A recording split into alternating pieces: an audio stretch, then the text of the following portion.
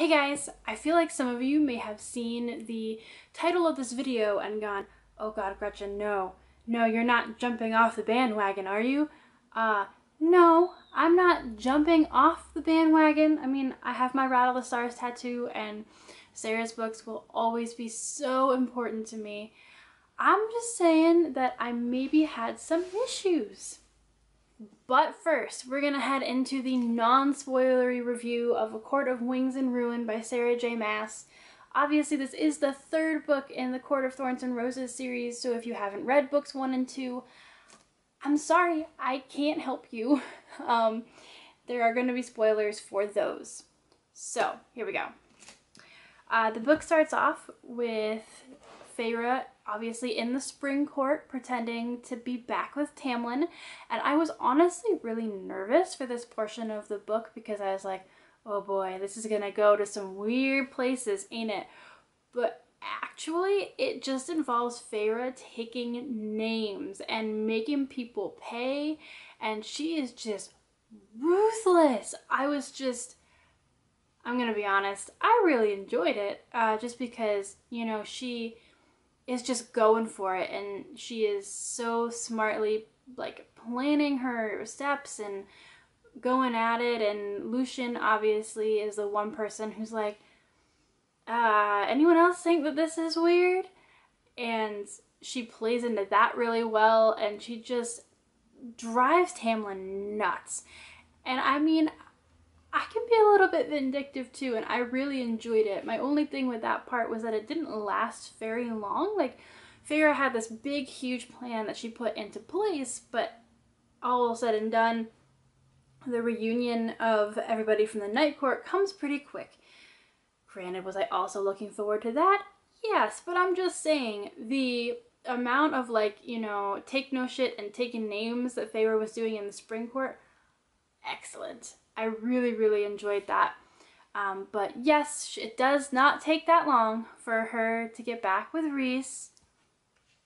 Ah, I love those two together, and this book is just a continuation of their relationship being just completely goals for everyone in this world, and even having, you know, some issues together and dealing with some things and navigating being High Lord and High Lady and what that means for them and Feyre, you know, trying to adjust, but Rhys also having to adjust to, you know, not just being the one with the power to say yes or no, and the whole dynamic that that causes. I really love that. Um, Cassian and Nesta, like, just every time they went to speak to each other, I was like, oh boy, oh boy, I am so excited because, again, Sarah knows how to write characters with chemistry that are just like yeah, you guys are great together. And I loved it. Um, I loved, again, that that also got to build. It didn't, much like with Rhys and Feyre, wasn't just like, you know, boom, instant love. It was, they got to forge a friendship. They, we got to watch them become friends. And that was really, really great. And I loved that so much. Um, as Amren, Mor, just that whole group of people work together so well and function as a unit so well. And just even when they're just together you know kind of providing some exposition through discussion i always know that i'm going to enjoy the experience because i love the way that they all interact with each other which is always nice. I think where my potentially unpopular opinion starts to pop in is that i felt like the plot of this novel was a bit all over the place and I don't know if this is just me recently not being able to have books like close series the way that I want them to, but it kind of felt like this book, A, was all over the place. There were a lot of things to cover, a lot of new things introduced, um, and still so a lot of information being given to you, like new information to learn about this world and this place um, while the plot was also like, and over here, and over here, and because we need this to happen, this will happen now. And there were some things that felt natural and some things that didn't. Uh, but even so, those things sometimes just felt like they were convenient. Um, like new characters and new things popping up to be convenient and help, you know, fight the battle that was ongoing. So Yeah, that was a bit weird. I think there were also some characters that performed an about face a bit too easily. Uh, characters that, you know, we thought of one way for two books, and then in the third book, it's like, and surprise!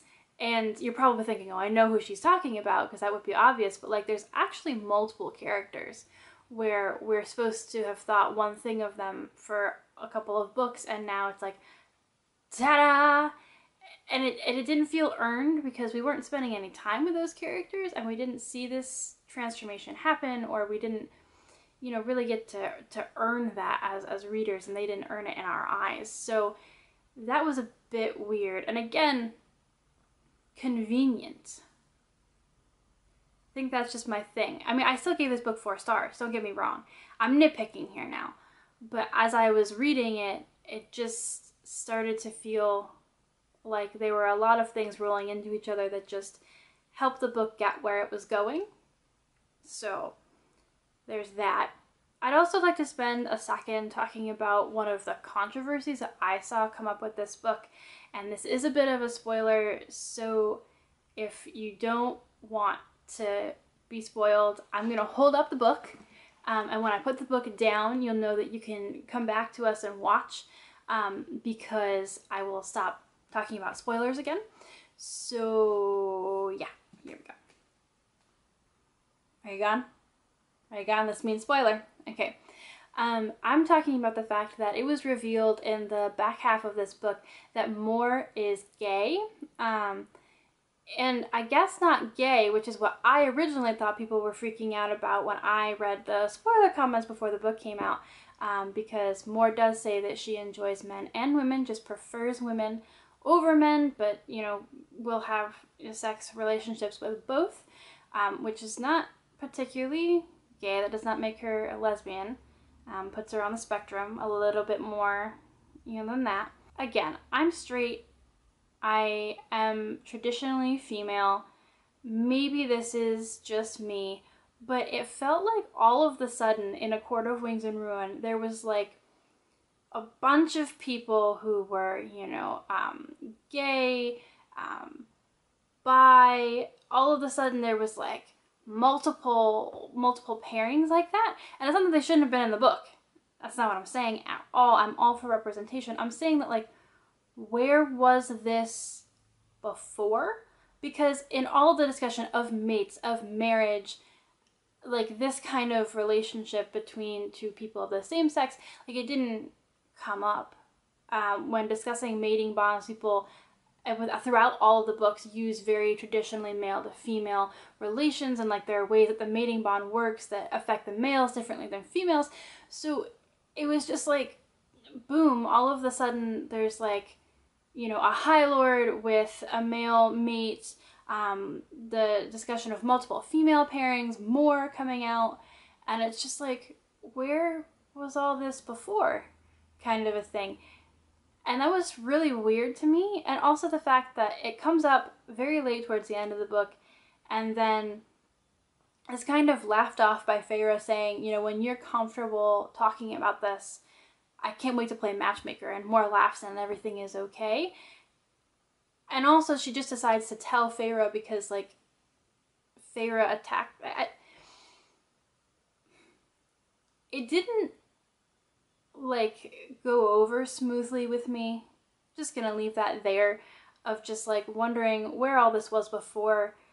And again, not that, you know, a gay character's point is not that they are gay. They are a character who interacts with the story, who engages in the plot, who also happens to be gay. That's how they should be used. So I'm not saying that Mor's entire storyline should have been like her struggling with her sexuality, but also, again, with this happening towards the end of the book and just being kind of brushed off, with it all of a sudden being like, boom, same sex pairings without any kind of discussion when that hasn't been a thing in the first two books. It was it was weird. It was weird.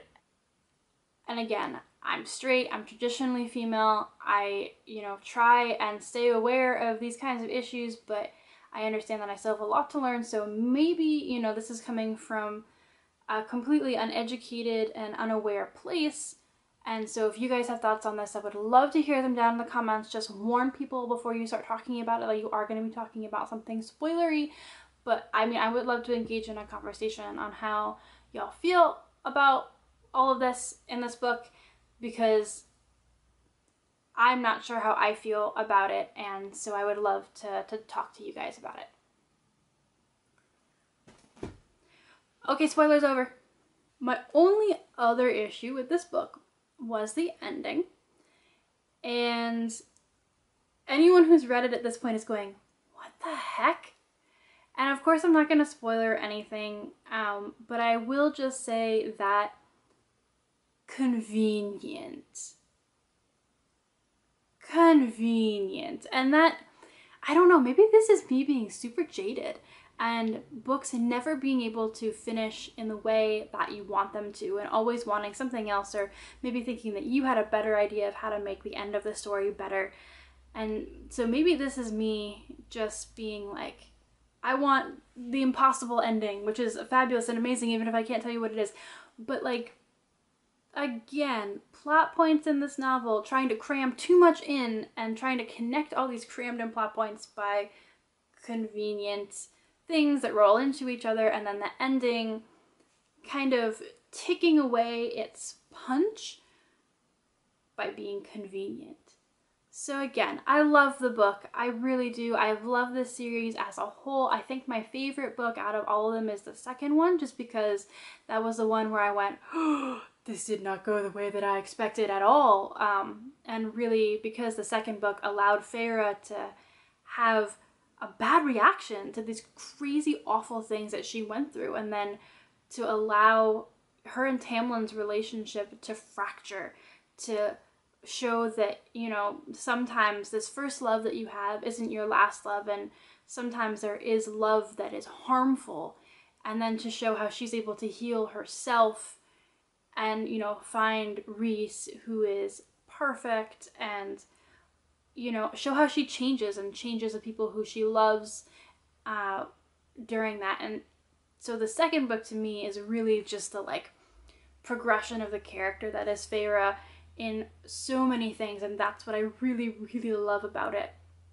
And it just like I got to the end of the second book and I cried because Sarah had finally given Beauty in the Beast like this actual heroine with agency and a way to craft the story that produced a strong female character, which I loved. Uh, the first book was a fine opening. I have no issues with it. It was a good book. Um, and then the third book, again, I have some issues with it, um, but it, it's a good book, and I have no overarching, like, large, like, oh, how could you end the series that way? Especially knowing that we are going to get more books.